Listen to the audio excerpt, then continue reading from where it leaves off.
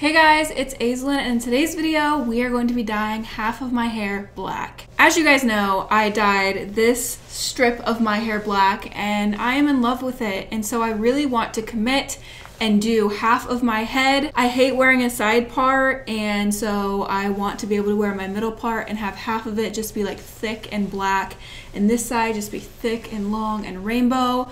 Ugh, it's like a fantasy I have in my head and I need to achieve it. I'm really excited. I hope you guys are as well. For color today, I'm going to be using Arctic Fox Transylvania and then on the side that's rainbow, I'm just going to glaze it with Arctic Mist Diluter. This is just clear. It's basically like conditioner. It has no pigment in it. And then this is just solid black. The reason I am doing that is because the Arctic Mist Diluter will create a little bit of a barrier just in case I accidentally get a little bit of black on my rainbow pieces. That way it won't stick to my hair and there will be that layer of the Arctic Mist Diluter helping me and saving my rainbow. Also, what I learned from dyeing this piece is that this stuff bleeds everywhere and it stains everything. So I need to be super, super careful when I'm rinsing my hair out to make sure that the black does not bleed onto the rainbow. I'm going to section off my hair now. So I'm just gonna do a middle part. If you don't wanna commit to having half black, half rainbow, you could just do the strip like I did because whenever I wear my hair like this, split in the middle, you like can't even tell that I have black under there. Okay, so there is our middle section on the top. I don't really care if the back is like straight and even because my hair is going to be laying down. It's not gonna be split in the middle section when I'm wearing it like this is gonna be. I don't really care if the back is as even or as straight. So this side obviously is going to stay rainbow and this is the side that we're going to be dyeing all black. Is the sectioning on the back. I don't know how that looks. Because this black is a blue based black, it will fade more on the blue green spectrum of your hair, especially if you have any yellow tones in your hair, it's going to fade out more of like a bluish green. So to try and counteract that as it fades, I'm going to be adding a whole bunch of Purple Rain this is a super, super deep purple shade, and I'm just going to add it into my black, so that way, as my hair fades, hopefully it fades more on the violet side versus the blue-green side, because we all know blue is a pain in the ass to get out of the hair. So I'm gonna try and avoid that by adding a whole bunch of purple to make it more of a purple based black. If you have not seen the previous video of me just dyeing this piece black, I will leave a link to that video up here if you want to watch it. In that video, I used conditioner to outline the rainbow pieces so that way it would like stop it from transferring. Today, I'm not only using the Arctic Mist Diluter to section out where my rainbow hair is, but I'm going to be going through this whole side and just drenching it in the Arctic Mist Diluter so that way if any black bleeds over here, it's not going going to stain the hair. So I'm gonna make sure I really, really coat my rainbow side with the Arctic Mist Diluter. I'm gonna start with the Arctic Mist Diluter because obviously I want to protect my rainbow side first before I start applying the black. I did equal parts of Transylvania and Purple Rain. So I did half Transylvania, half Purple Rain. You won't be able to tell, it just looks black, but now hopefully it will have more of a purplish undertone when it fades versus blue-green.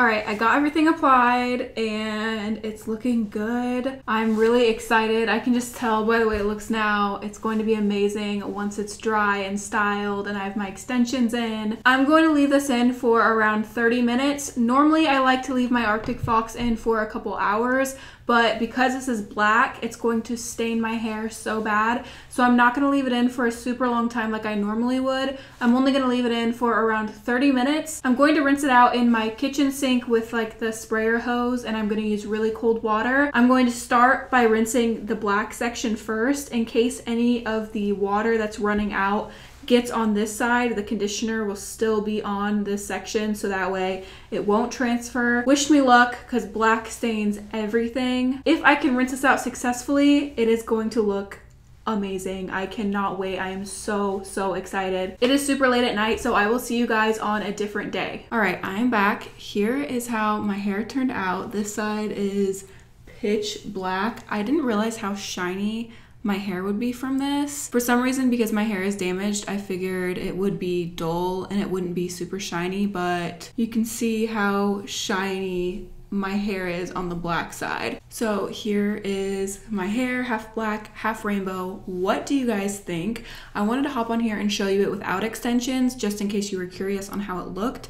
So I'm gonna go ahead and clip in my extensions real quick and be back because I know that I'm gonna love it so much more with long extensions in. Okay, here is my hair with the extensions. I think it looks so much better and I knew I would like it way more with the extensions in. Here's the black side.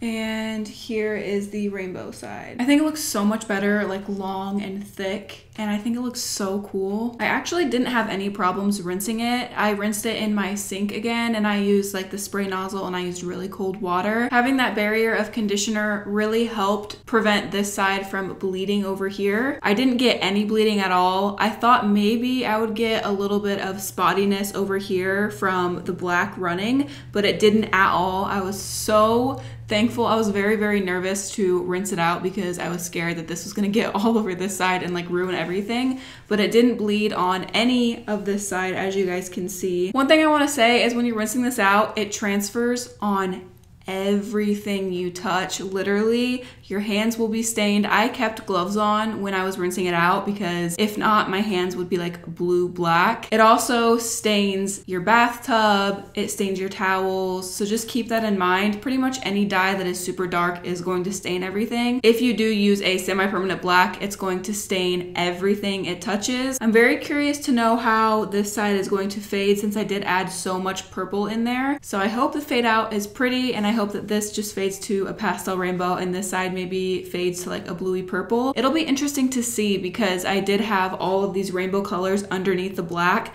So I'm wondering if any of those colors are going to pop out once the black goes away or if it's just going to fade like Transylvania normally would fade. I love the half and half. I think it looks so cool. I won't be keeping it just because I prefer like all rainbow, but I'm glad I did it. I'm glad I know what I would look like with it. And I think it's really cool and different. And I love that if I part my hair on this side, it'll cover some of this. So it'll look like I have all black on top or vice versa. I could part my hair over here and then it would look like I have rainbow cascading on top of like black. So either way I part it, it's very versatile and it looks very different. I also think split dye hairstyles would look really cool with this. It would look so cute with two space buns or two pigtails. I love doing hairstyles for split dye hair. I think it just accentuates the color so much more. I will leave a link to Arctic Fox and my coupon code in the description down below in case you want to purchase any hair dye or if you want to try out Transylvania. That is all for today's video. I hope you guys enjoyed it. Don't forget to check out my Instagram. The link link to that will be in the description down below. I post way more of my everyday life on there. Give the video a thumbs up if you enjoyed it. I love you guys so much. And until next time, guys, stay weird.